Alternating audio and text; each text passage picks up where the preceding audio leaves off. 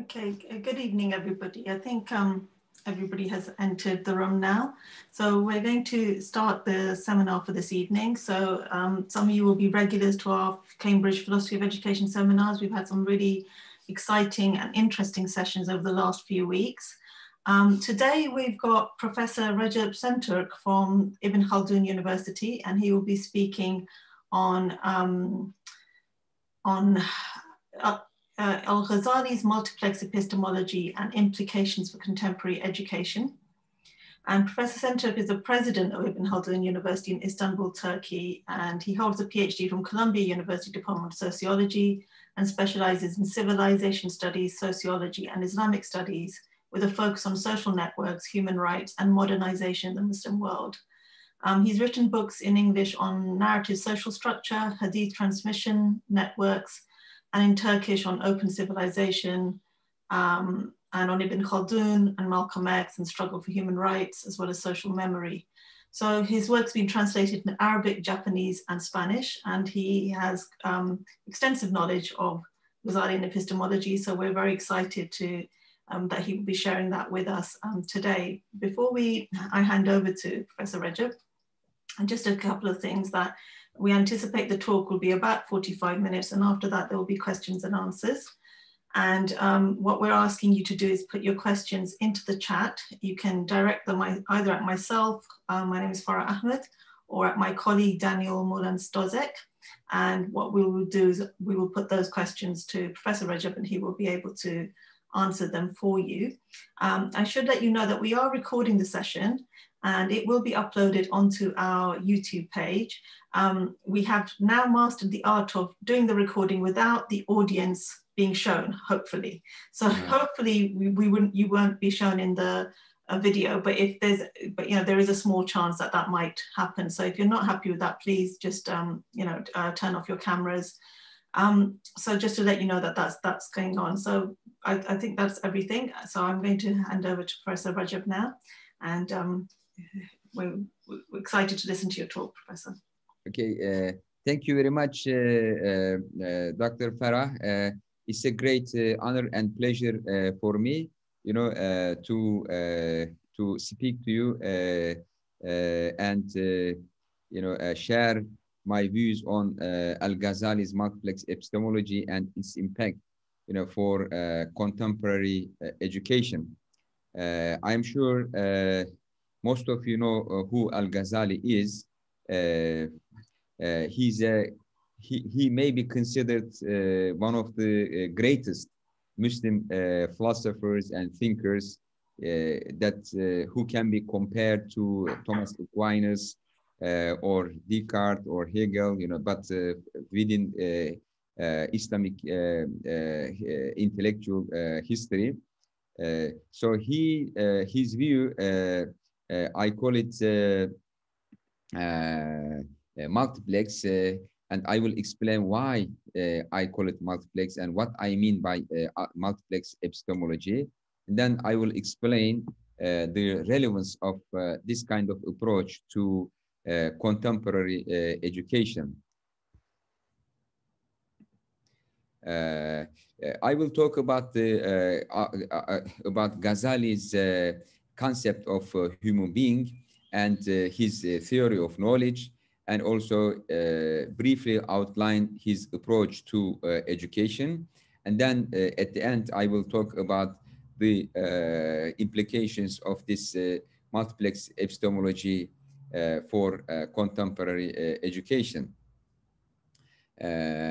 Ghazali was after certainty in knowledge uh, Uh, so this was, uh, you know, the uh, reaching certainty in knowledge puzzled him, and uh, uh, and this quest, you know, took many many years of his life, and in his short intellectual autobiography, which is titled Al-Munqiz min al-Dalal, you know, uh, it is also translated to uh, English several times uh, and published many, many times. so he was after uh, certain knowledge and this quest for certain knowledge uh, helps us understand his uh, his uh, multiplex uh, epistemology and his approach to uh, education. so he, in his early career, accepted the existing epistemology and educational system, but after sometimes he became skeptical. Uh, uh, then he, he questioned uh, data or information acquired through sense perception. And also he even started questioning axiomatic facts or self-evident truth or primary truth. so this questioning let him uh, realize uh, limitations of uh, empiric knowledge as well as rational knowledge. So he wrote uh, in his autobiography that uh, there may be beyond the perception of reason another judge. The mere fact of the non-appearance of that further perception does not prove the impossibility of its existence. Uh, so during that time, I was a skeptic. In fact, at length, God Most High cured me of that sickness. My soul regained its health and equilibrium and once again, I accepted self-evident data of reason. Uh, uh, uh, like an example for self-evident data is like two plus two is equal four, but he was skeptical about this uh, also. Uh, and he, he says at the end, you know, I uh, regained, you know, my my faith in accepting self-evident data you know, uh, coming uh, from uh, reason and relied on them with safety and certainty. But that was not achieved by constructing a proof or putting together an argument. So basically, rational arguments was not enough you know, uh, for him to be convinced that self-evident knowledge uh, was uh, acceptable and reliable. On the contrary, it was the effect of a light which God Most High cast into my breast and that light is the key to most knowledge. Whoever thinks that the unveiling of truth depends on precisely formulated proofs has indeed narrowed down the broad mercy of God. So you see that uh, he's not uh, trashing empirical knowledge, he's not trashing uh, rational knowledge, but he's saying that it's limited. You know, there is something, you know, uh, people uh, gain uh, Uh, uh, through some ways, you know, uh, uh, but uh, it is not based on rational argumentation. so this is, you know, in order to understand this multi-level understanding of knowledge, we have to look at his understanding of human being. so uh, he Ghazali accepts that uh, the world has three levels you know, the material world uh, and non-material world and also the divine world. So there are three uh, major levels of uh, existence. So the material world is the visible world. You can uh, acquire knowledge using sense perception and the non-material world, you need to use reason, you know, to get knowledge about the non-material world.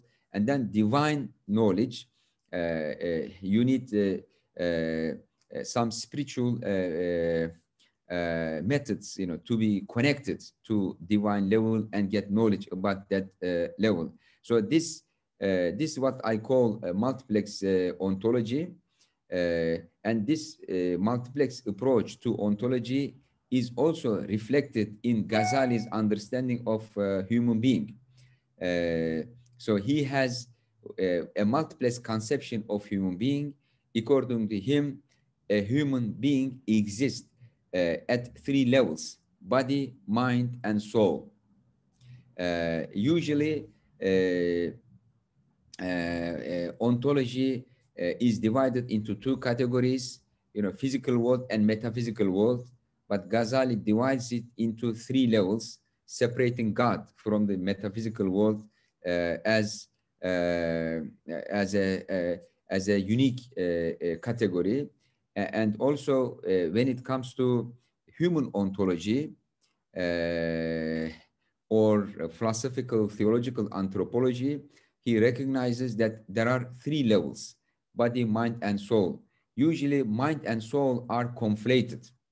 So the materialist focus only on the body, the idealist focus on the mind, And uh, when it comes to mind, it's a very debated uh, uh, issue. Those who accept existence of soul, they conflate soul and mind. they think it is the same thing or it's the same category. But in Ghazali, they are separated. You know, mind in Arabic zihin and the soul in Arabic ruh. So ruh and zihin, you know, these are uh, separated uh, in uh, Al-Ghazali. So there are three levels of uh, human uh, existence. Uh, so this multiplex approach provides the foundation for his multiplex understanding of knowledge. so for him, there are uh, different levels of uh, knowledge corresponding uh, to different levels of existence. So he wrote uh, that uh, he who is proponent of mere blind imitation and setting aside the intellect, uh, setting aside the intellect entirely is ignorant. So he says you cannot get rid of uh, intellect. You know, you need uh, intellect, you need reason. And he who is satisfied with intellect alone, without the light of the Quran and Sunnah, is deluded. You know, uh, so divine revelation is also uh, very uh, important. Uh, take care that you be not in either of these groups.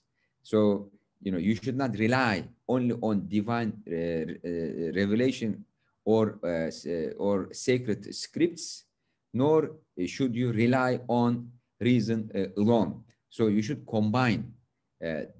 so this is what I call multiplex epistemology. So uh, in Ghazali's view, there is empirical knowledge based on sense perception. In Arabic, it's called hissiyat. And there is rational knowledge. In Arabic, it's called akliyat. And there is also reported knowledge, uh, nakliyat. Uh, and these uh, three types of knowledge uh, are objective in the sense that uh, you can make an argument based on these type of knowledge in the public sphere. You know, you can use empirical knowledge to argue for something or rational knowledge to argue for something or reported knowledge to argue for something. But then there is the, uh, another type of knowledge, which he calls kashfiyat.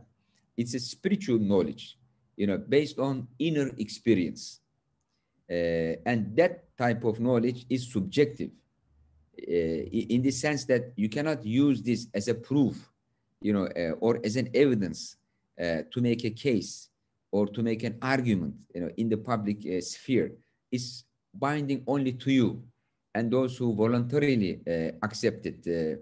Uh, so so this is uh, what this is uh, i call it subjective and not binding knowledge so so this is what i call uh, multiplex uh, epistemology because it recognizes that there are different types of uh, knowledge.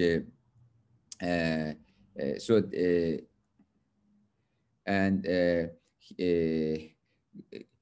so these different types of knowledge needs to be acquired, learned, and taught in the educational uh, process. So uh, if you look at here, you know, education cannot rely only on the empirical knowledge or rational knowledge or just you know uh, uh, scriptural uh, knowledge or just the spiritual knowledge you know uh, education must combine uh, all of them uh, so these are like different muscles you know a human being has and education should develop all these muscles so these are not mutually exclusive sources of knowledge these are not alternatives of no, uh, each other.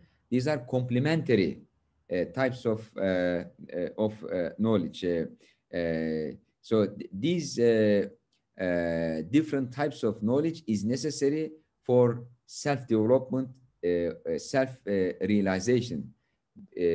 Ghazali classifies existing beings into two categories. Things that exist independently of human beings things that exist perfectly, like sky, stars, you know, external and internal organs of body, animals, plants, you know, uh, they are created in the perfect way. But then there is another category uh, things that are yet to be complete, yet to be perfect, uh, because they are created to accept perfection. They have the potential. You know, uh, so if, if, the conditions are met, uh, they evolve. You know, uh, they become perfect. so this category needs education, and human beings belong to that category. You know, they are not created perfect, but they have the potential to improve uh, themselves through uh, education. Uh, but stars, sky, animals, you know, uh, our uh, internal and external organs, limbs, you know, uh, they are created the way they are supposed to be. like you cannot teach stars anything, you know, but human beings, they accept education to improve themselves. so this self-improvement self-development through education has two types, the intellectual improvement and moral uh, improvement. Uh, uh, so Ghazali says the human being is in his original condition is created without knowledge. Uh, so when we are born, we have no knowledge and unaware of the worlds created by God. Uh, when uh, like worlds of animals, plants, uh, humans. Uh, so a baby is born without any knowledge and he's unaware uh, of these worlds God created. so this requires you know, education to be improved. and then moral improvement, moral self-development. So he says, having the appetitive self under the control of reason is the ideal mental and spiritual state for a human being. Uh, so he, uh, uh, accepts that every human being has appetitive self, desires, passions, uh, and putting uh, these desires under the control of reason uh, is the ideal mental state and spiritual state. The opposite of it is to put uh, uh, reason under the control of the appetitive self. So Ghazali says this is wrong. You know, uh, perfection is reached when you can control your desires, your passions, your anger. so this is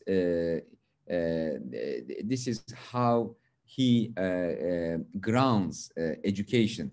You know. Uh, uh, in order to in order uh, for this kind of development Ghazali accepts two types of method in education talim and tezkiye so from his perspective education is not limited you know to the uh, education of mind or rational intellectual uh, education but you know there is moral uh, education as well so he proposed uh, two methods, one for intellectual uh, education, and he called it talim. Uh, and the methodology for talim is to teach theoretical thinking. You know, in Arabic, it's called nazar, theoretical thinking. and theoretical thinking means, you know, organizing the existing knowledge in your mind in such a way that it leads you to something unknown or uh, you organize your knowledge about particular uh, subjects in such a way that eventually it leads you to a general uh, knowledge uh, or a general uh, law. Uh, actually, Nazar may be translated to English as theorizing. So like developing a theory. basically, the purpose of uh, talim, this intellectual uh, education, is to help you know students reach intellectual perfection, and intellectual perfection is reached when students develop this theoretical, uh, critical uh, reasoning. Uh, you know, moving from a particular uh, subject to the general one, and also getting to know things with the causes uh, beyond them. So this is uh, what's called uh, nazar. And then for moral perfection, what's the method for uh, moral perfection? He calls it the tezkiye. Literally translated, tezkiye means self-purification or the purification uh, of the inner world. Uh, so inner world is is polluted when there are bad moral qualities and removing away these bad moral qualities is called self uh, purification. So the uh, the uh, the mission uh, of the uh, education uh, is to provide talim and tezkiye to the students help them develop intellectual perfection as well as moral perfection character building uh, at the same time. Uh, so this way, uh, human beings can reach, you know, self improvement, self perfection. Uh, so talim, uh, which we translated as uh, intellectual training or, or education, we can say it is the academic pro academic process of training the minds through the study of rational or empirical disciplines such as mantiq, you know, logic, philosophy, theology, law, uh, you know, or, or, other like empirical and rational uh, disciplines. Uh, uh but uh, uh, this academic education should involve divine revelation as well. it should not rely only on empirical and rational uh, knowledge. Uh, so Ghazali does not exclude, you know, rational knowledge, empirical knowledge, or rational disciplines, empirical disciplines, but he always insists that the, uh, the study of scriptures must go together with empirical and rational Uh, uh, education. Uh, uh, we have already, you know, uh, read this uh, citation uh, that uh, he emphasizes not relying only on the intellect, also not relying only on the sacred scriptures. You know, both sources must be used together. so it is not enough to impart theoretical learning, that knowledge must also be put in practice.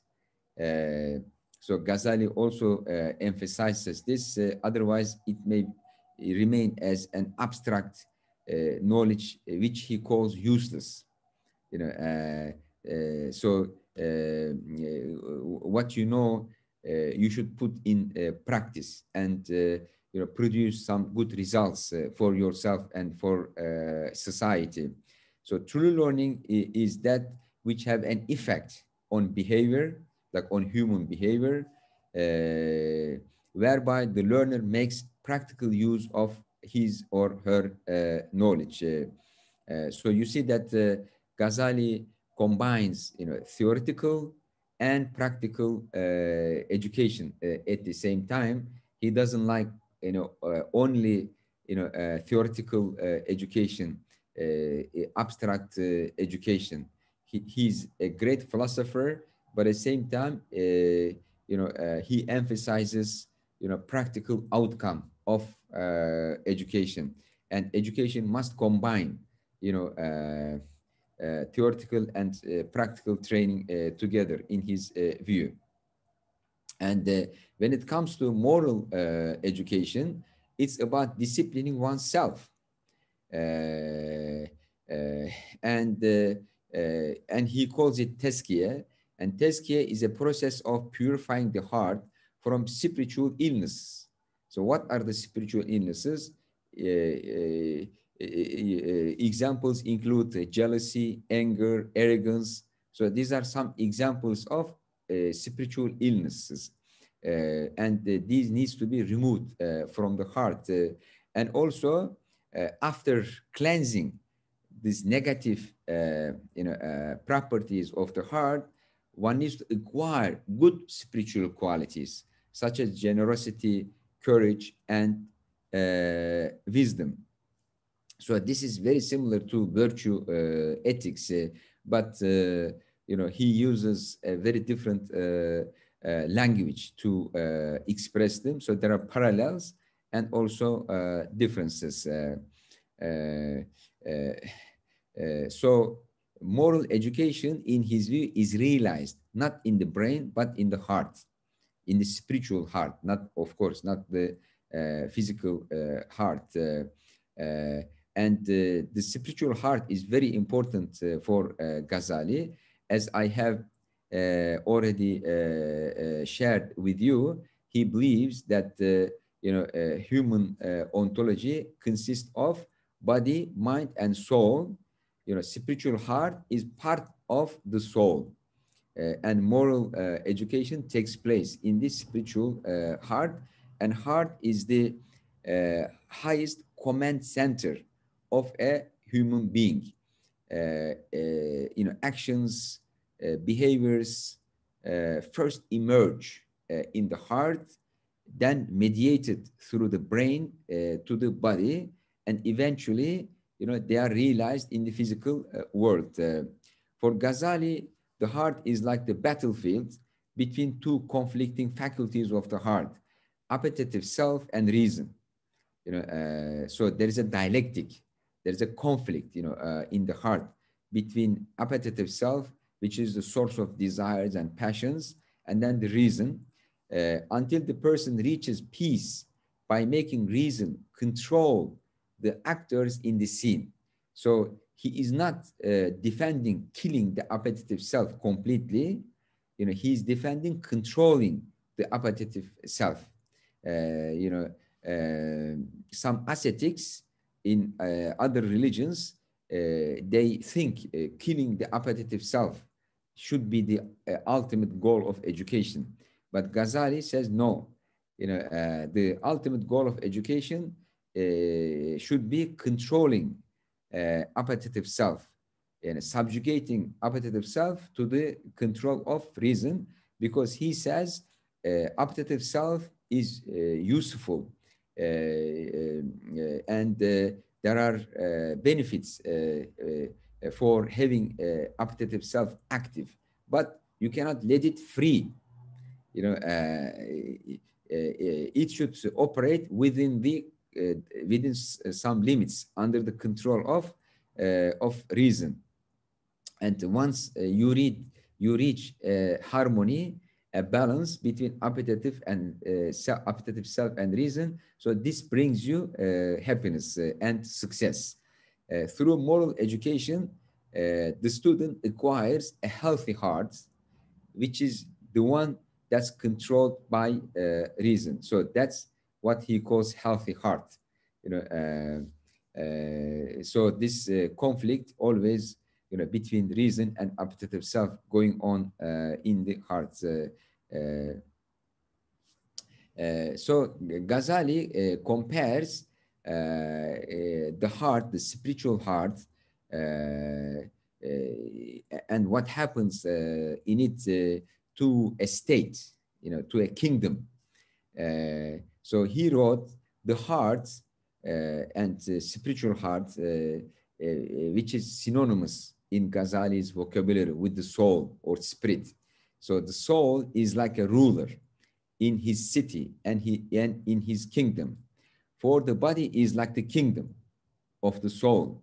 It is world, its abode, it is city. So the body is like a city and the ruler is the soul, the spiritual heart, the powers and members of the body occupy the place of craftsmen and laborers. The intelligent reflective power, reason, is like the sincere advisor and intelligent minister.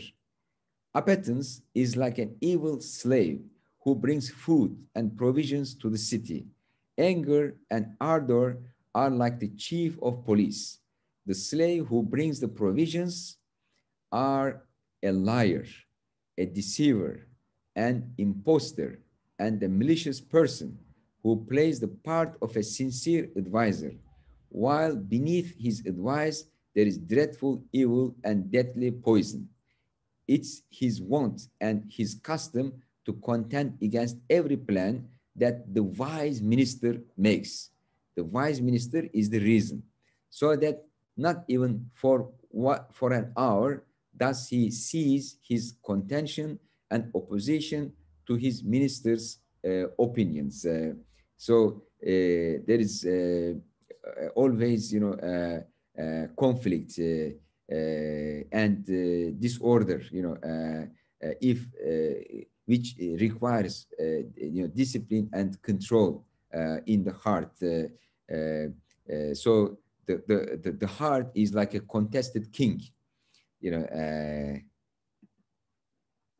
uh, so he recognizes the, uh, that uh, you know the state of this contest produces three types of personality, okay, or, or, or self, and he calls it politics of the heart, as-siyasa al-qalbiyya.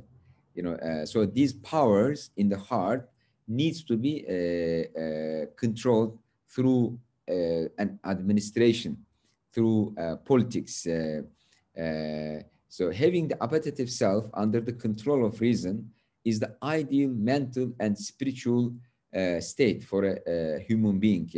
so this type of self changes depending on the state of the heart, which is an outcome of the ceaseless conflict between reason and appetitive self. So appetitive self here is translation of nafs uh, in uh, Arabic. Uh, so based on this uh, uh, conflict, you know, uh, there emerges three types of self. So the type one self, which is controlled by appetitive self, and reason is subjugated to appetitive self. All right. so so Ghazali considers this lowest state of a human being, the lowest self. so here the ruling power is the appetitive self. And in Arabic, this is called an-nafs al-ammara. At this uh, stage, the appetitive self, which is the voice of desires, rules the heart. And reason serves the desires. Uh, uh, okay, uh, and the, in the type 2 uh, self, uh, there is a conflict going on between reason and appetitive self. You know, none is hegemonic. None is the ruler. Sometimes reason, sometimes appetitive self is uh, is dominant. Uh, uh, so this is called the critical self, uh, self-reflexive and critical self, and nafs al So this is a transitory state from the complete obedience to desires to complete control of reason. So it's an interim state. But Ghazali says most people are in this stage.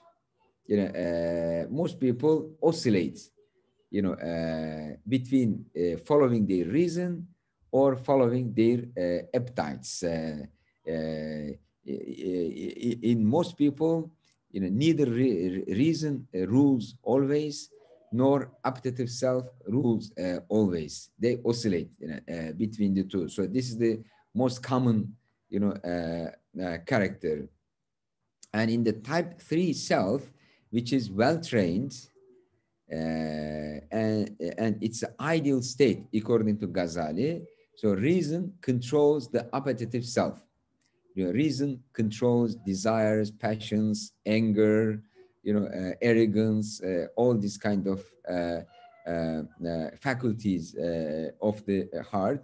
And Ghazali calls it the content self, the happy self because the purpose of education is to lead a human being into happiness. And according to him, you know, a well-trained mind controlling uh, the uh, appetitive self is the happy person, the ideal uh, person. So at this time, the intellect becomes the sole ruler of the self. and this is a great inner revolution from the rule of passions to the rule of uh, reason. Uh, so uh, what's the way uh, to make the heart victorious king? Okay, uh, what kind of you know uh, process uh, is needed uh, for this? Uh, what are the training methods? so he proposes like two types of methods one, like how you interact with other fellow human beings. Okay, so this is one way of, you know, cleansing the heart. so he proposes love Uh, uh, of uh, other human beings and serving them and uh, um, uh, uh, making fellowship with them. but while doing all these things, one should remain God conscious. Always remember God. so this is how, you know, this is how you know, uh, uh, one can purify and cleanse uh, his or her heart. Uh, and at the same time, seclusion is uh, needed uh, so minimalism, you know, contentment, uh, and also inner struggle, you know, uh, inside uh, to control desires and any whispers, you know, that comes from from inside. So these are the practical methods Ghazali proposes to be used for uh, moral uh, education or uh, character uh, building. Uh, the, the, um, the characteristics of morally trained people, you know, in their in their morality, uh, Ghazali says that they, they follow moderation. They follow moderation, uh, i'tidal. Uh, and uh, he says that there are different faculties uh, of the soul uh, and and each faculty may go to extremes, excess or deficiency, you know, excess or deficiency, Uh, or just uh, follow the uh, moderate balance between the two. So he says that when a person achieves a balanced state of four faculties of the soul, uh, meaning the faculty of knowledge, quwwatul ilm, the faculty of anger, quwwatul ghadab, the faculty of desire, quwwatul shahwa, and the faculty of uh, justice, quwwatul adala, uh, which are guided by revelation and reason. You see, uh, you know, uh, so he accepts that there are four uh, faculties and uh, these four faculties uh, must be guided by reason and revelation. You know, in ethics and morality, there is divine command theory. Usually religious people, you know, rely on divine command theory. And then there are, you know, secularist philosophers, they rely on reason uh, so Ghazali says you have to combine, you know, re, re, reason and revelation, you know, akal and shara, you know, uh, to guide these four uh, faculties. Uh, uh, and if you can do this, then you you have perfectly accomplished good character, husnul khuluq. so these are the two extremes, like a faculty of knowledge, foolishness, deceitfulness, but the the, uh, the middle, uh, golden middle is wisdom. So this is very similar to Aristotle's uh, perspective. And the faculty of anger, you know, one extreme cowardliness, the other extreme is aggression, the middle is courage. The faculty of desire, you know, uh, one extreme inertness, the other uh, extreme is uh, debauchery, and the middle is temperance faculty of justice, one extreme injustice, the other extreme is injustice, and the middle is justice. So when it comes to justice, there are no two extremes. There is only the opposite, injustice. All right. Uh, uh, uh, so, uh, but uh, the roots of all these behaviors uh, are in the spiritual heart, according to uh, Ghazali, and training uh, moral training must focus in the heart uh, because all actions are production, uh, uh you know, starting uh, from the heart or you know, you know, emanating from the heart. Ghazali as I have already mentioned in the beginning, Uh, always uh, sought for certainty uh, and and certainty, like intellectual certainty or certainty by knowledge can be reached through academic education, through rational uh, education.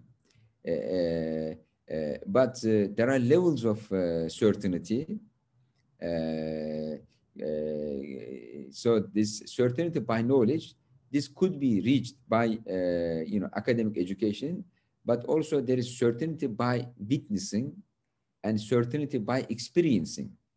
Uh, certainty by uh, experiencing uh, can be achieved through tezkiyah, through cleansing the heart, purifying the inner world. So this gives you inner experience.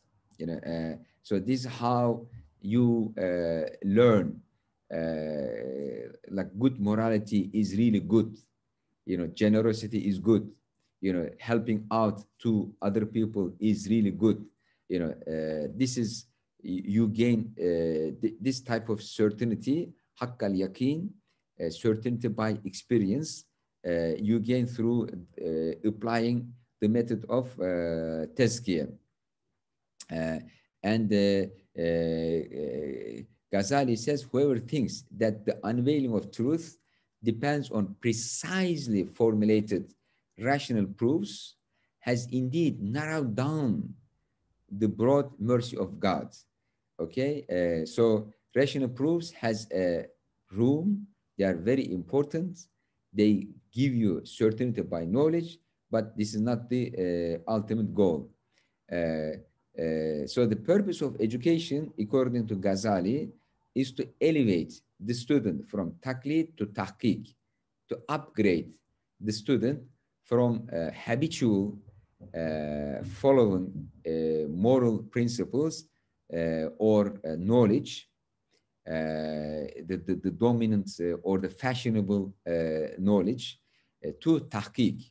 You know, and tahqiq means verified knowledge, you know, researched uh, knowledge, uh, and uh, and this has a different form depending on the discipline.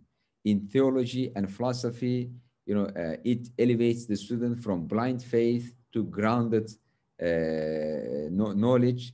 In law, you know, uh, from blind to following the existing norms to coming up with critical thinking and in uh, spirituality uh, uh, from you know practicing the forms of good behaviors to their reaching to their truth and essence. So the ultimate purpose of education is to cultivate the individuals so that they abide by the will of Allah and are hence assured of salvation and happiness in this world and in the uh, hereafter. Uh, uh, so this uh, this worldly outcome uh, uh is uh, uh, is an instrument, you know, to reach this ultimate salvation and happiness. so this is my last slide. it's you know just to explore implications for contemporary education. So if we uh, if you would like to benefit uh, and uh, implement Ghazali approach today, we have to like replace exclusively materialistic, selfish, and individualistic understanding of human being with a multiplex one. You know, uh, a concept of human being which is constituted by body, mind, and soul, uh, uh, combining intellectual and spiritual uh, faculties. Uh, uh, and self-realization requires you know, uh, improvement of body, improvement of mind, and improvement of soul. None should be uh, ignored uh, and neglected. and also replacing the reductionist epistemology with a multiplex one. By reductionist epistemology, uh, I mean uh, epistemology that focuses only on reason or only on uh, scriptures religious knowledge. You know, religious knowledge must work together with uh, rational and empirical knowledge, according to uh, Al uh, Ghazali. So this is what I call multiplex uh, epistemology. And uh, also, if we utilize Ghazali's heritage, we have to redefine the goal of education uh, because uh, academic education is for academic and professional knowledge. It's very important and useful, but not enough. Spiritual and moral education uh, is for character building. Uh, they should work uh, together and they should uh, prepare individual as a member of a community, serving, loving, caring, you know, uh, other members uh, of the uh, community. Uh, and uh, and education uh, reconnect the individual to himself, you know, self-realization, family, society, nature, and God, rather than you know disconnecting the individual from family, society, nature, and God.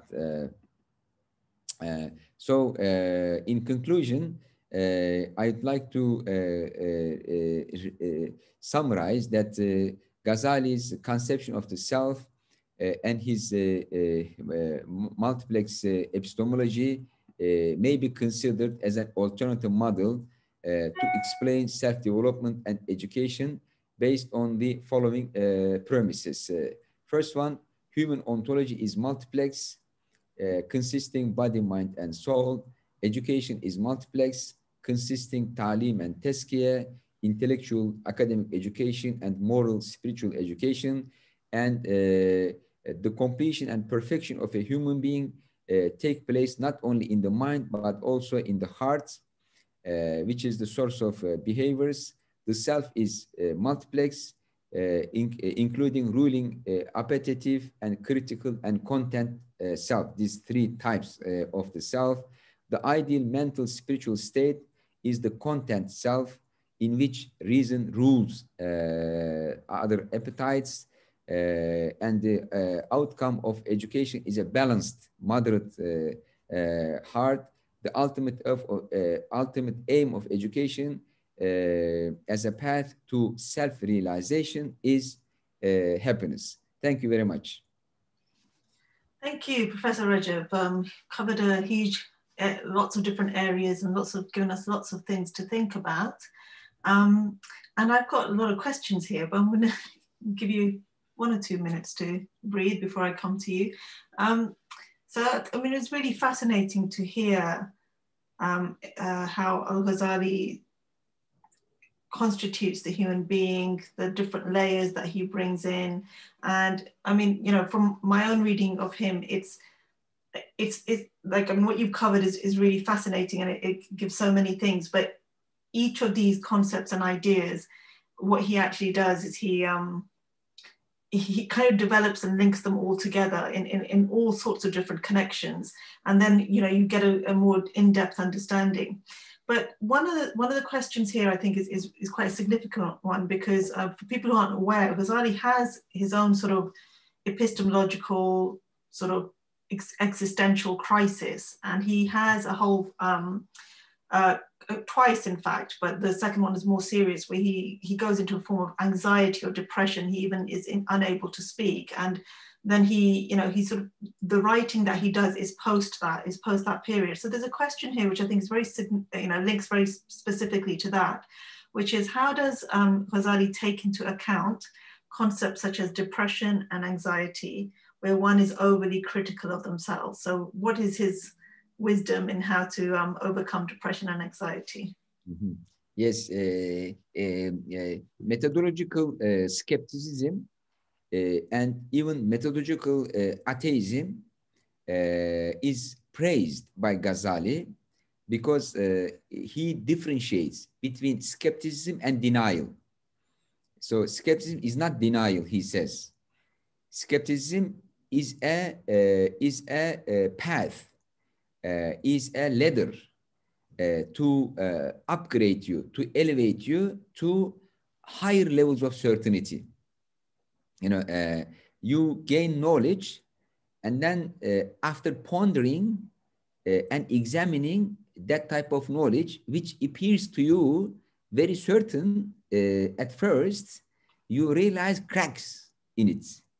And then uh, exploring these cracks makes you skeptical uh, and pushes you to a higher level of uh, knowledge. So he says skepticism is good for scholars and students, but they should keep searching further, you know, and there's a, a, a distinction between uh, skepticism and denial. So a skeptic is not an infidel. You know, uh, a skeptic is a good person who is uh, searching uh, for truth uh, uh, because uh, he's undecided. You know, and if he continues searching more and more, this will help him gain more knowledge and reach a, a higher level of certainty. But even that higher level of certainty may uh, may uh, uh,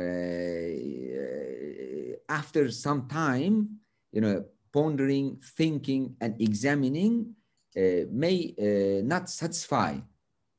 Uh, then this will push him to higher levels of knowledge. so Ghazali's view on you know, uh, depression, uh, skepticism uh, as a result of not being satisfied with the existing knowledge is very positive as long as you continue searching more and moving forward. But if you stay as a skeptic, you know, without uh, searching, uh, then this is not good, uh, according to Ghazali because uh, then you are paralyzed. You know, uh, you cannot move on. Uh, you cannot do anything. Uh, uh, so this may become very unproductive uh, uh from his uh, view. Uh, so this is like I find this fascinating. You know, making a distinction between being a skeptic and being a denier you know, and uh, oh. uh, and and praising uh, skepticism. this is a methodological methodological atheism, you know, and methodological skepticism, which is very important, you know, to explore more. I, I, agree. I mean, I think it's a really significant concept within the Islamic tradition that you know some a figure like Ghazali is is is dealing with this issue and and separating out the idea of skepticism from um, sort of like denial of, of the religion. But if I can draw you out a little bit more, because certainly his first um, crisis is very much a knowledge-based crisis, epistemological, but the second crisis that he had could also be seen as a moral crisis, that he felt that he was a hypocrite and that his depression and anxiety comes there from his social standing because for people who aren't aware, Ghazali is effectively the, the head of the most leading um, higher education institution at that time, and he's, he achieves that status at a very young age. So he's a, he's a famous scholar, and that crisis, I think, is is is you know it would speak to many people today about that sense of his his he feels that, that he's a hypocrite and he feels that he there's some immorality in in terms of how he's um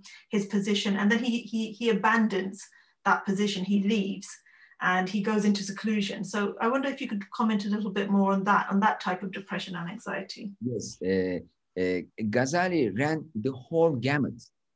You know, uh, he was he uh, he he he he uh, he uh, accepted like empiricism, and uh, he thought uh, you know empiric methods would lead you to certainty in knowledge. Uh, but then he became suspicious of empiric methods. Uh, he uh, discovered their limits. Uh, then he said, maybe rationality, you know, rational thinking will help me gain, you know, complete certain knowledge.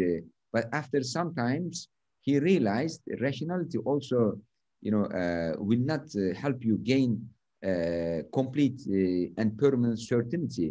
about uh, about you know the issues you are searching for.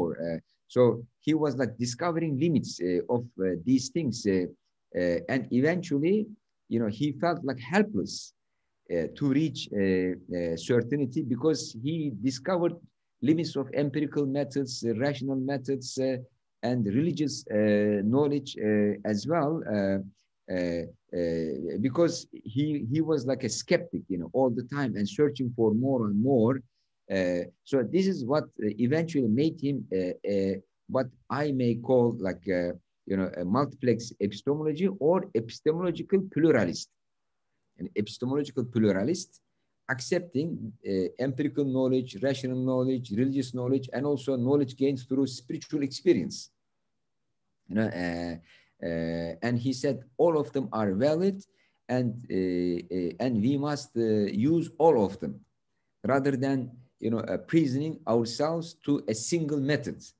Uh, uh, so this, you know, his skepticism and searching for alternative ways eventually made him realize each uh, type of knowledge you know brings you uh, some insights it's legitimate in a particular domain, but it's not going to bring you this ultimate certainty.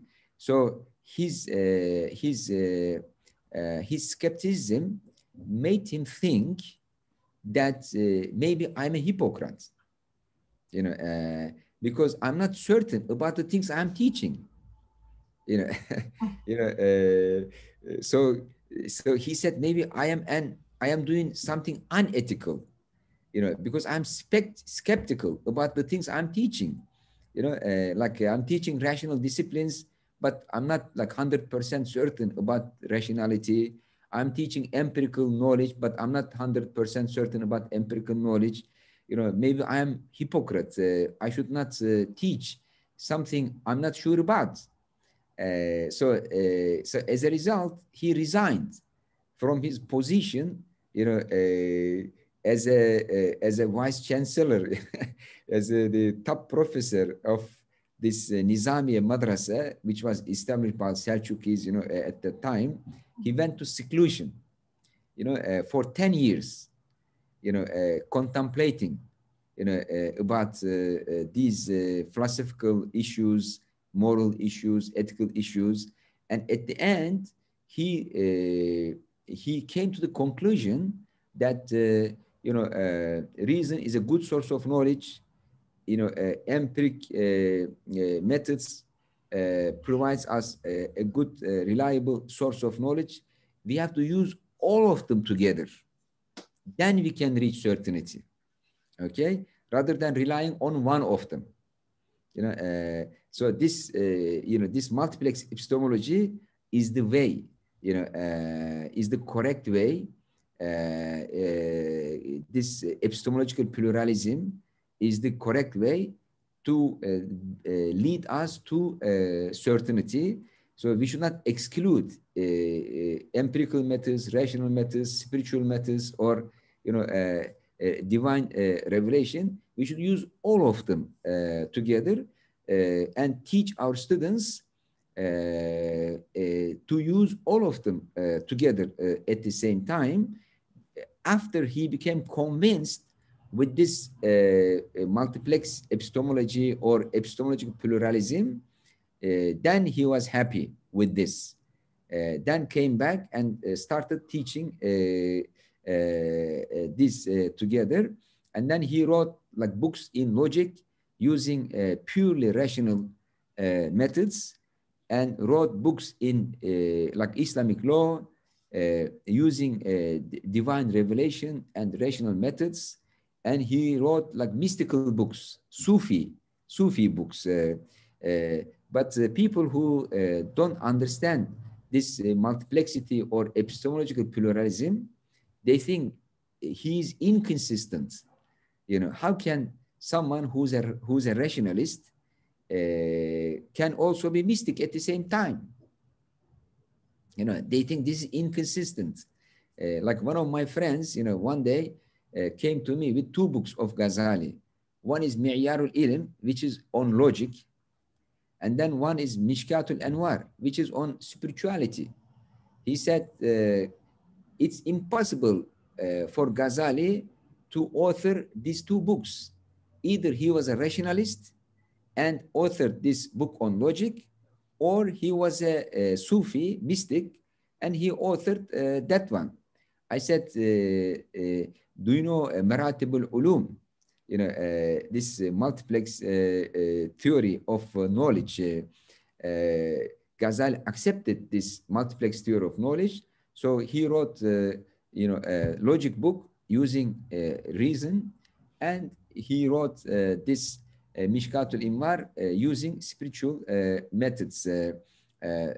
so his eventual station, the eventual, the ultimate point he reached was incorporating all these methods together in a, multiplex uh, methodology or in a pluralist uh, epistemology. Uh, and education should also be pluralist in this way. Uh, purely rational education is not good. Purely empiric education is not good. Purely religious uh, education is not good. Purely mystic education is not good. The education should be holistic and uh, offer these methods at the same time to the students. So this is the ultimate uh, uh, uh, point he reached. There. Okay, there's so many questions. There's a lot of questions about skepticism, but because we've talked about that quite a bit, I'm going to move on, I'm afraid. Um, I'm going to move on to a question which is about where does this multiplex model situate kinds of learning that are practical rather than purely speculative or moral and are usually acquired through communities of education and practice such as crafts or parenting? Mm -hmm. uh, uh, uh, so this uh, uh, uh, this Ghazali's multiplex epistemology and multiplex education has been implemented, you know, in the Muslim world because Ghazali is the founder of Nizamiya Madrasa, which is considered one of the first universities in the world. Uh, so he formulated uh, the, uh, a curriculum and a method of education based on this approach uh, this epistemological uh, approach and pedagogic uh, approach, and it continued in the Muslim world. so it is not mere speculation. It is something that has been practiced through many centuries, but people usually misunderstand Ghazali if they do partial reading. So like if you read only logic book written by Ghazali, you think, oh, Ghazali is rationalist. Uh, you know, he's following Aristotle. Uh, but if you read only uh, Mishkatul Anwar, which is a book in uh, like a Sufism, you think, oh, Ghazali is Sufi. He's against rationality. you know, you have to have a Uh, uh, holistic uh, uh, perspective and read uh, uh his works completely. and when it comes to practicing, you know, uh, his concept of human being is very uh, important. Uh, so, I mean, when you educate the students, whether through like a school system or through parenting, you have to take this into consideration that this child has body needs to be improved, mind needs to be improved, and also soul, the spiritual heart needs to be improved. And, uh, and your education should focus on like uh, uh, how you uh, make you know the body of the child like um, healthy, strong, and the mind strong, and the heart healthy. I mean, Ghazali does not like give us you know, uh, any uh, particular system uh, to apply, but just gives us the, the methods. And these methods may be implemented either by parents or by school or both uh, at the same time. Yes, thank you. I mean, it's really interesting because when you read him, he does give very concrete examples of what you can practically do to develop your spirituality and develop your um, sense of balance within your morality. I mean, so, so, that's interesting. But I mean, just to add to the point that in terms of the crafts, there is a whole tradition that develops in the Muslim world of guilds, guilds of different craftspeople who come together, and they're quite democratic in many ways. Um, but what they are doing is there is a sense of um, it's a bit more than professionalism, a, a futuwa, a chivalry, a, a type of a spirituality to the particular craft that that is for, for the specific guilds. And there's a there are um, you know organizations that develop according to these um, these kind of principles which which takes me on to some there's quite a few questions here around the same theme. Um, there's one here which is talking about the uh, field um, of transrational peace building in education, which is beginning to extol the necessity for being able to grasp the rational and analytical alongside the spiritual and intuitive within how we build peace between societies and within societies and even also within schools. And i think that's quite significant and that links to some of the questions here about which i know that you've written about about how this multiplex epistemology might translate into research methodology how it might translate into efforts to decolonize um, higher education. So i wonder if you could comment on that. Yes uh, uh I mean, uh, this uh, multiplex epistemology uh, provides us with a diversity management system, you know, a diversity management system, because you know some people you know subscribe to rational methods, some people subscribe to empirical methods, some people subscribe to you know uh, spiritual uh, methods. Uh, so this multiplex methodology which I also call, you know, uh, epistemological pluralism, provides room to everybody, you know, uh, and uh, they can be accommodated, you know, within this uh, multiplex epistemological system. So if you are legal-minded rationalist, okay, you are most welcome. We have a room for you.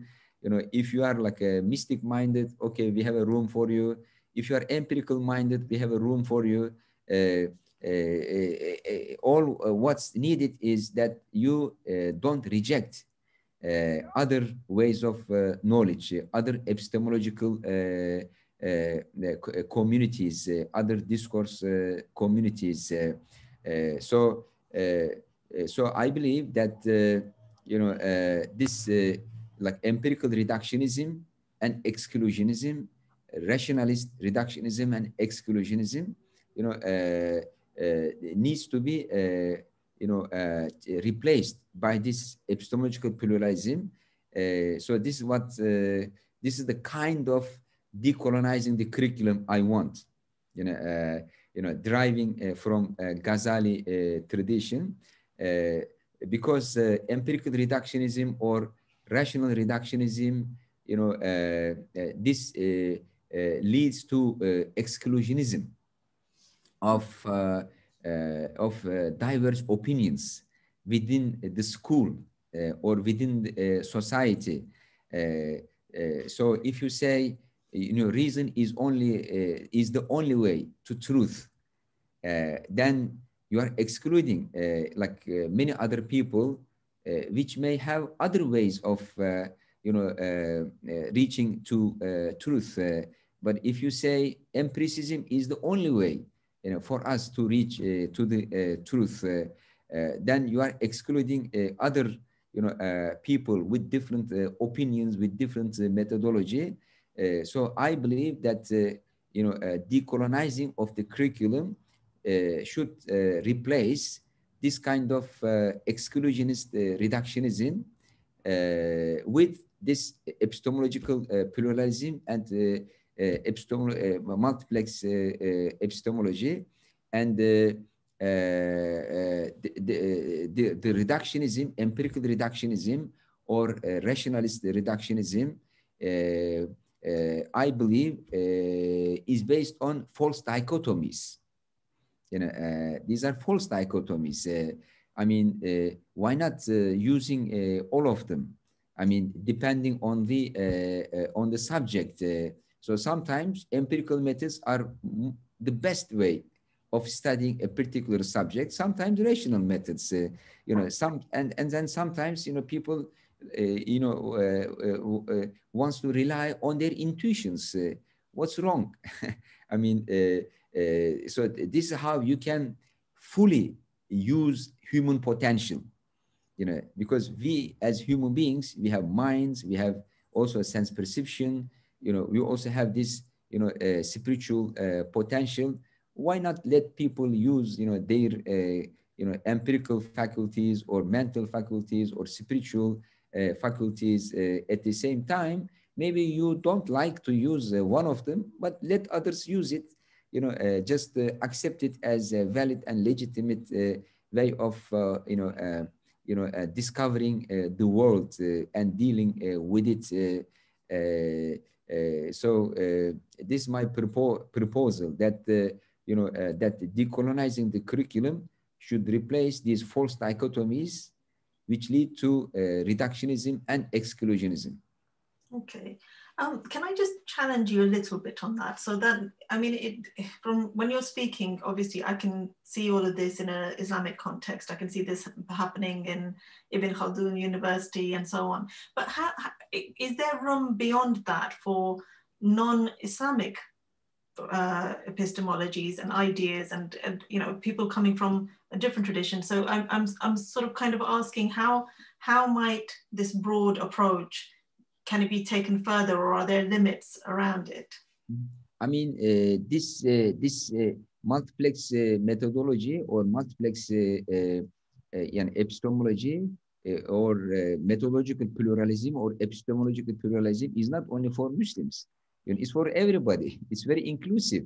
I mean, you don't need to be Muslim to accept it. Uh, I mean, uh, like uh, uh if you uh, accept that, uh, you know, rational methods, empirical methods, you know, divine revelation and spiritual experience should be accepted as legitimate methods in education.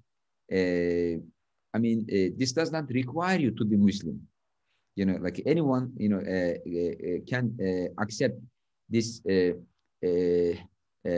this type of epistemological and methodological pluralism because it does not impose you, you know, to accept Islam or or Quran.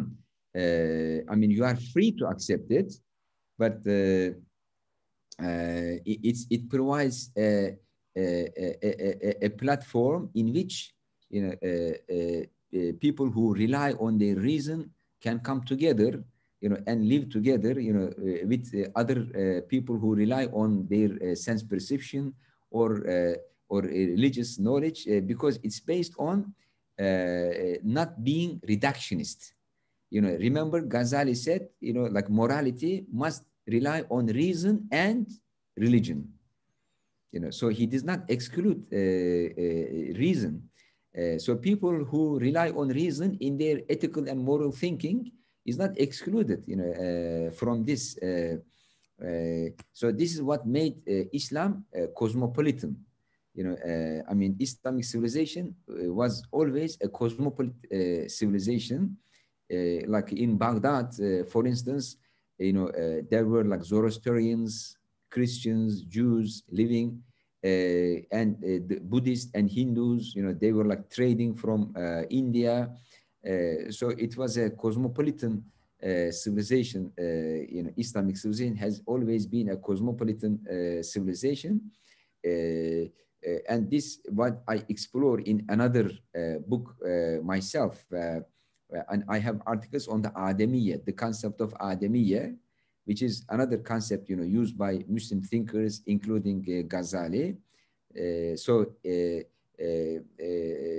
so this Islamic cosmopolitanism is based on the con concept of Ademiyya, that every human being, the Ademi, has rights.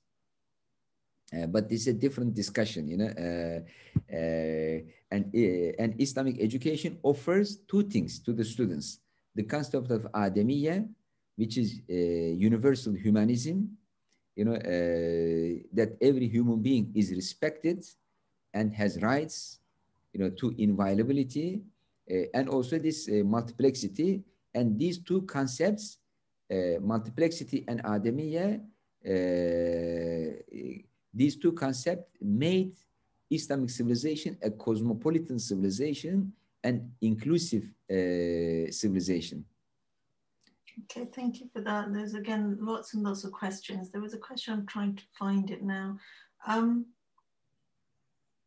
uh, so this seems yeah actually today uh, like there are many people who are unhappy with uh, like rationalism or anti-rationalism you know uh, and you know uh, even like uh, you know uh, in like in Europe and in America you know they are you know proposing multi-layered epistemology and methodology yeah, no, that's absolutely true. There is a definite shift to a more sort of open-minded approach. Um, so there's a question here which actually is something that I'm quite interested in. The question is, did Ghazali or other scholars explore how the self relates to its environment, people, mm. objects from its different states? And I think I've, I've mentioned this to, this to, you before, is that I sense a, a form of, um, of a dialogic approach to the self in mm mm-hmm. Imam al-Ghazali's writings and you can draw out that is you know so there's the three layers of the self that he talks about. So you you went into some depth about the self having a relationship with itself right? And and you know it's uh, how the akal and the nafs and all the all the things that are going on there. But then there's also um, the relationship of the self with the, in the action that when you're taking the knowledge has to be acted on it has to be practical. You can't you know the, he says that knowledge that doesn't lead to action is, is not beneficial, then, then that those actions are functioning within a world. And then obviously you have the spiritual layer of the mm-hmm. self's relationship with, um, with God. So I wonder if you could comment on that. And also if you could add to that um, what we can gain from uh, uh the Ghazalian approach for a more sustainable world um, in terms of how we are approaching the world around us. Yes. Uh, uh, I hope you remember the slide I showed Uh, like the practical methods for uh, uh, moral uh, education. Uh, so the first one is love, you know, and the second one is service. third one, fellowship. And the fourth one, remembering, you know, constant remembrance of God. so love for everything, you know, God and his whole creation. You know, uh, uh, so you know, uh, uh, uh, so one should be networked, you know, with the whole world, you know, with the metaphysical level or, you know, physical level with love. So, I mean, so spiritual improvement or moral improvement requires you love animals, you love plants, you know, you love other human beings, you love God. Uh, so love is the most important uh, element of uh, you know, character building and moral education. And the second one, service. You know, uh, so this love uh, should be translated into practical service, you know, to creatures, you know, all creatures, you know, including animals, you know, plants, uh, other uh, human beings, uh, because true love leads to service, you know, to uh, Uh, what uh, or who uh, whom uh, you love, uh, and also fellowship. You know, this uh, sohbet, you know, sohbet.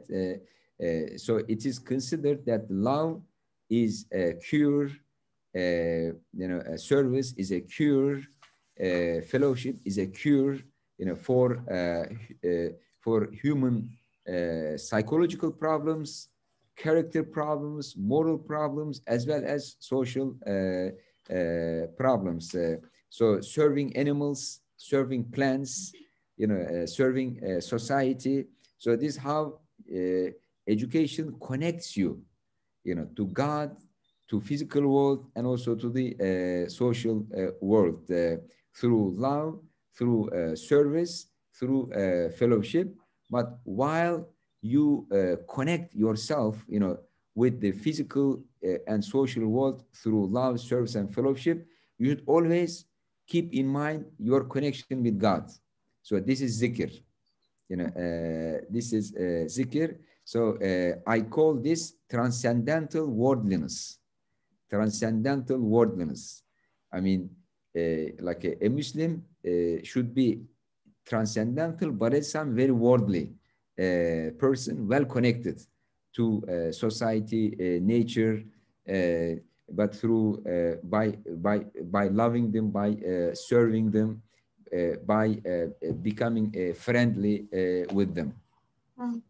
Okay, th thank you so much. Um, I have a there's a couple of questions here about the practicalities of enacting this approach in the contemporary education system. So there's some questions about wh whether you're able to measure or um, evaluate the, the moral, the progress of moral development and questions about how when we have, you know, these national systems that are driven by national testing and standardized testing and so on, you know, there's a complete clash, you know, from yes. the Ghazalian perspective to that.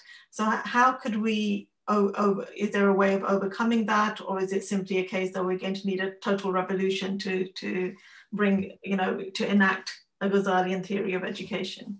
Yes, uh, because uh, the uh, education system Ghazali founded in Nizamiya madrasas in the 11th uh, uh, and 12th uh, centuries was based on one-to-one -one education. You know, and actually this is the education system like a European universities copied from Muslims, like one-to-one -one education, because they believe uh, every student is unique and uh, should be educated uh, through one-to-one -one, uh, education. And uh, when there is one-to-one education, you don't need all these, you know, surveys and metrics and indexes because, you know, the student is always with the master and the teacher uh, like under uh, always uh, supervision and observation. but today, you know, we move to mass education. You know, the, eh, I mean, eh, eh, so in this mass education, there's a big distance, you know, between the uh, teacher and the uh, uh, students.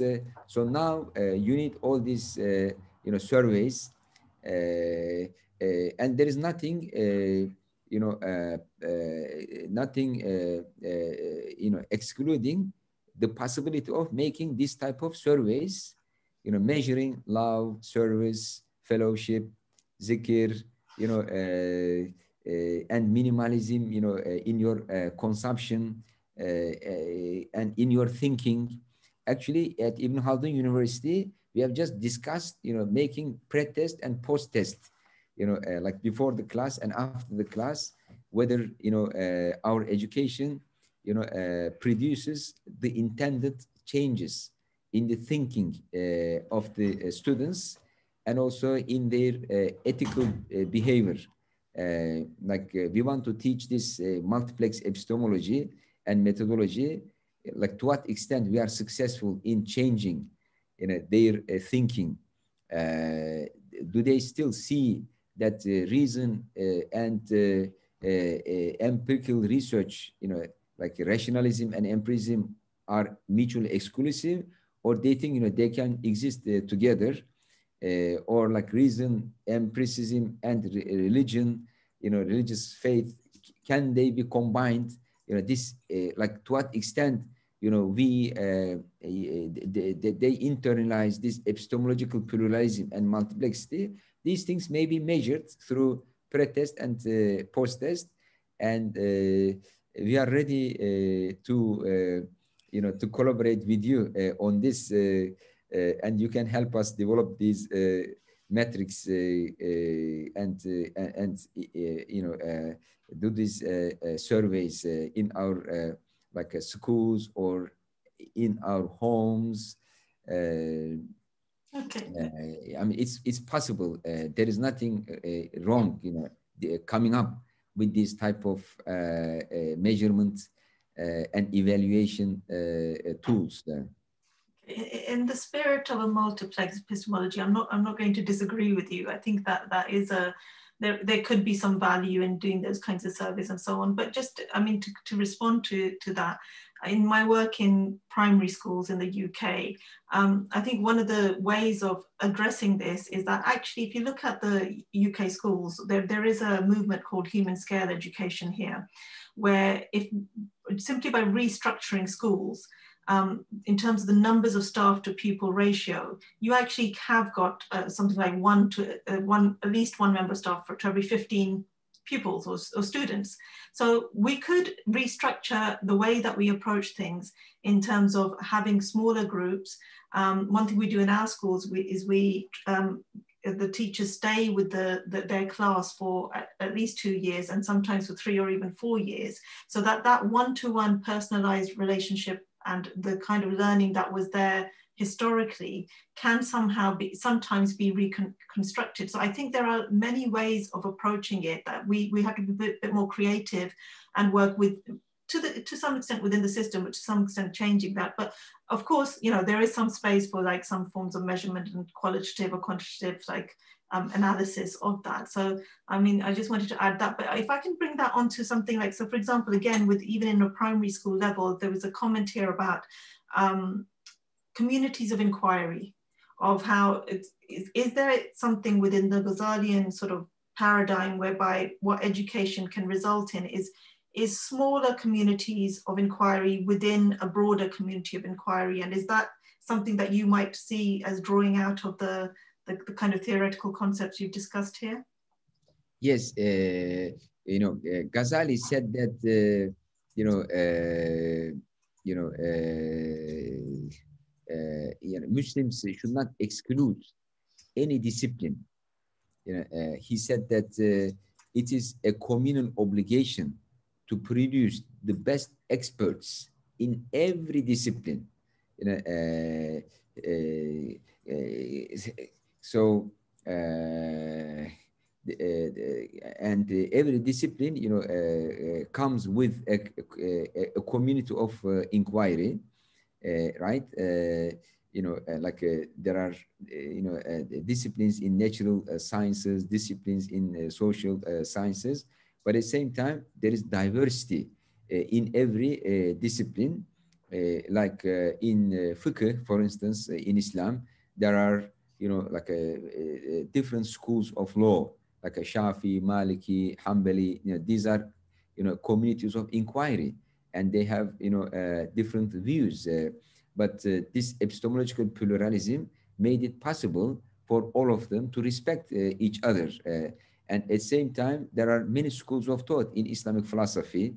You know, there is Mashai, Ishraqi, you know, uh, uh, uh, Eh, like Ghazali. These are all like a, representative of different uh, schools. Uh, and then, you know, in Tasawwuf, in Islamic mysticism, there are so many different tariqats.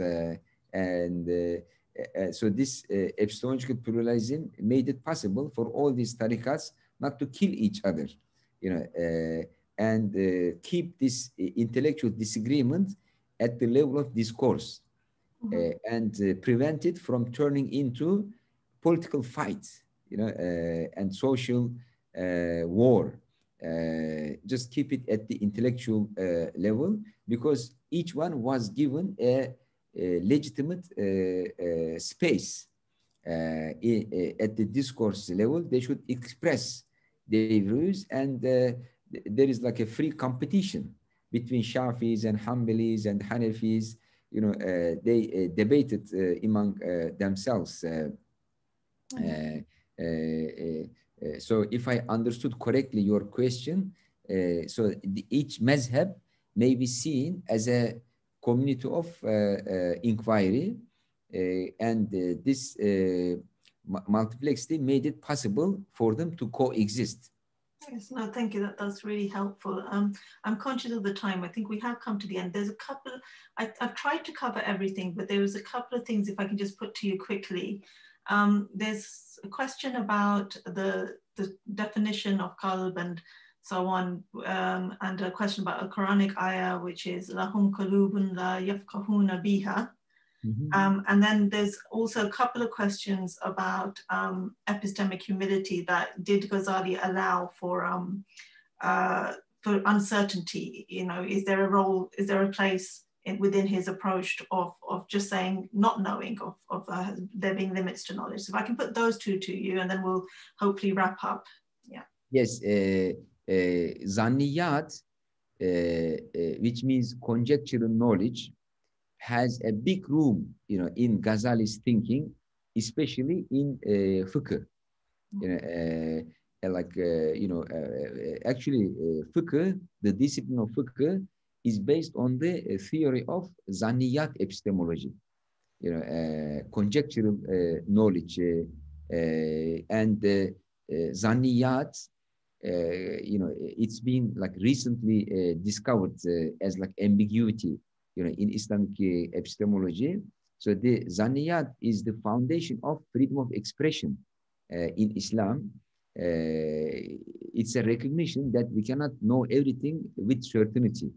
You know, uh, like uh, you know, there is a great deal of knowledge uh, based on zaniyat, and at the level of zaniyat, we cannot require people to think in a particular way because it's not cut-in, it's not certain. Uh, and uh, this is a domain uh, in which people may have different preferences and choices. Uh, so this allows rise of different method,s you know, different schools of thought uh, in tasawwuf, kalam, and uh, theology.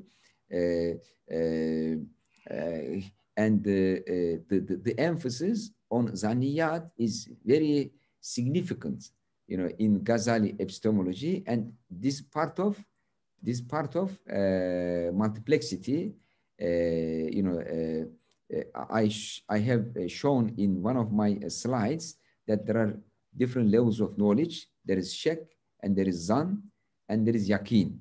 You know, and even yakin has its different levels. Uh, so there is a room for shek, there is a room for zan, and there's a room for uh, yakin in uh, Islamic methodology and epistemology they have never pretended that they knew everything uh, for sure. Okay, thank you so much. It's been fascinating, enlightening discussion. Um, I, I really have tried to answer, to ask for all the questions to you. If I've missed somebody's question, I apologize for that. Um, I just want to say that this has been recorded and it will be put onto the Faculty of Education YouTube channel, so you can um, uh, watch it again or share it with people who may have missed it. And um, there were some questions about, eh, you know, finding out more about Ghazali in English. What I would say is that there's actually a film, if you um, search for The Alchemist of Happiness, I think that is an excellent introduction to anybody who's interested in Ghazali. It's a docudrama and it's actually a, a really good watch as well. So um, I can send the link to you if you can't find it. You can contact myself or Daniel. Um, and also, um, if you you know have any other questions, then do get in touch with us, and we'll try and um, you know respond to that. But just to say that, thank you everybody for attending. Thank you so much for the questions and such an uh, amazing discussion. And thank you, Professor Rajab, um, and uh, for for coming. And hopefully next week, I believe we have um, Sean Bullock. I forget the title of the talk, um, but um, I, you can go on our website and uh, webpage and, and, and find that. So just finally, probably just thank you to Professor Recep again, and thank you to the audience, and I'm going to bring it to a close. So good evening, everybody. Okay, thank you. Thank you, everybody. Have a good evening.